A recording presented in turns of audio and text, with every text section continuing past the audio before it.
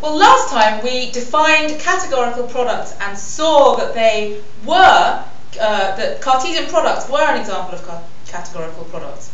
Um, and for that reason, or for reasons like that, we usually write categorical products as products. Uh, but we have to be a bit careful about this because it's one of those categorical moments where we write A cross B, but this isn't completely uniquely defined. And I started mentioning this at the end of last time. Um, whereas A cross B as a Cartesian product is uniquely defined as that actual set of ordered pairs, A cross B as a categorical product is just kind of any product. Um, but they're all they're all canonically isomorphic to each other, which is why we don't really worry about it. Um, so what does canonically isomorphic mean? Well, you might think it means that given any other product, there's a canonical isomorphism with that one. Well, you have to be a, a little bit careful about that, um, because actually you need the entire diagram to commute. So the point is that supposing that we have a product equipped with its projection maps, and supposing we have another product, and I don't really know how to write it now, but supposing this is another product, it also has to come equipped with projection maps. And the point is that there has to be a unique isomorphism between those two products that actually makes the entire diagram commute. And this is a very important thing to remember when you're doing limits and co-limits, that it's not just the object that you're interested in, it's the entire diagram it, that exhibits this thing as the limit that you're thinking about. And one example you can think about to perhaps make this clearer is if you think about taking the Cartesian product of the set containing the elements 1 and 2 and the set containing the elements 3 and 4, then the Cartesian product is a set of pairs 1, 3, 1, 4, 2, 3, 2, 4.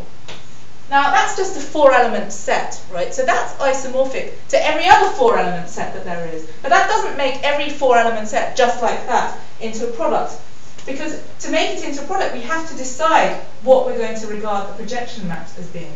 And when we've done that, essentially what we've done is we've decided which of our four elements is secretly going to be acting as, as these things. So for example, we could just say, um, X, Y, uh, orange, monkey.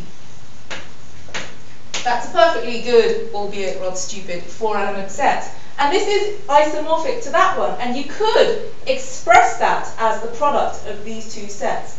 As it sits there now, it doesn't look an awful lot like a product of those two sets. But if we equipped it with these projection maps, then it would become a product of these two sets.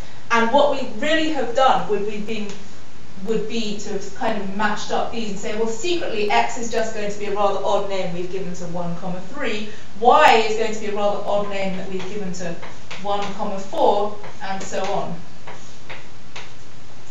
Uh, and it, once we've done that, we would get a unique isomorphism between this set and this set. Because, of course, before we've done that, the isomorphism between these two isn't unique.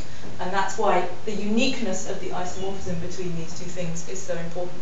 So the thing to take away from that load of uh, wobble is that these things are unique up to unique isomorphism. They're not unique, and they're not just unique up to isomorphism, that's not enough. They have to be unique up to unique isomorphism.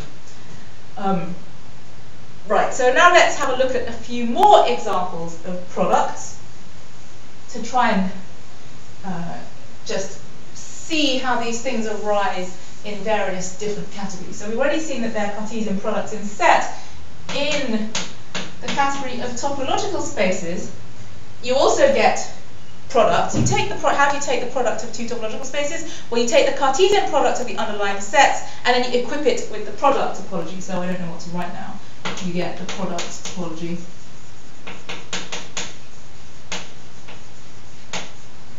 Um, so another place you can take product is in the category of groups, where you can take the Cartesian product of two groups.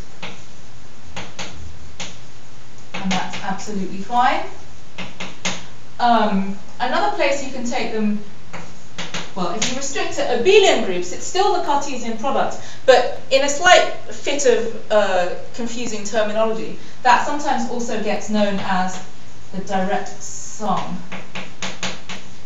Now, in general, sums are going to be dual to products, and when we do co-products in a little bit, we'll see that that's exactly the dual notion to a categorical product.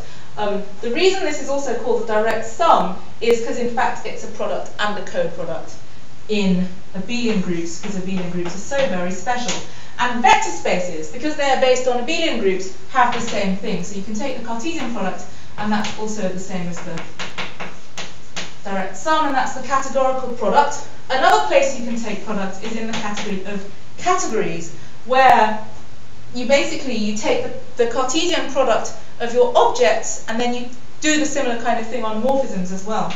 So here the objects are pairs A, B, where A is in A and B is in B, and then morphisms, a morphism from A, B to A prime, B prime is going to be a pair of morphisms FG, where F goes from A to A prime and G goes from B to B primed. Uh, another quite interesting place you can take products is inside any posets. I'm not going to take products of posets at this point, but remember that if X is a poset, you can regard it as a category by putting a morphism from X to Y every time X is less than Y. So you encode the ordering as X less than Y. Now if we start off with this being a totally ordered set, then, so in a, well, eh, eh, a totally ordered set, if it's a totally ordered set,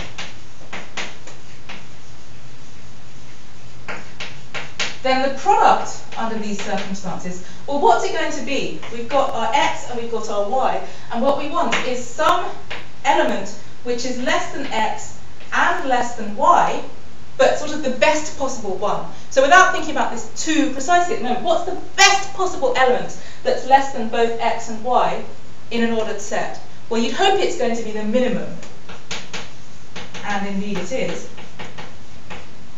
If it's a partially ordered set, what's the best possible element that's less than both x and y? Well, if you sort of dream a little bit, what's the best one out of all out of all the elements less than x and y? What's the best one? Well, it's the biggest one, isn't it? So that's going to be the uh, the greatest lower bound otherwise known as the inf or the, uh, am I going to get this right?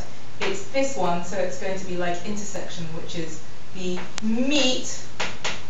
So that's what this is. So in a poset, x cross y is going to be x meet y. And you can think about this like if you think about the, um, the universal property, you want some object here with projection maps. What do projection maps mean? That means this object is less than x and less than y, such that given any other element which is less than x and less than y, there is a unique morphism here, which means that given any other element that's less than both x and y, this element v has to be less than the one that we first thought of. And that corresponds to being not just any lower bound, but the greatest lower bound. Uh, right, what else can we think about? Uh, oh yes, it's important to remember, here's an important non-example, that in general tensor products are not products, which is kind of why we call them tensor products, not Cartesian products. So for example, tensor products of vector spaces are not categorical products. However, the other way around it is true. So products in a category always give you a kind of tensor product where by a kind of tensor product I mean something that gives you a monoidal category structure. So this is jumping ahead of ourselves perhaps a little bit, but if you have products in a category that always gives you a monoidal category structure on there. Uh, and next time we'll talk about the dual notion which is co-products.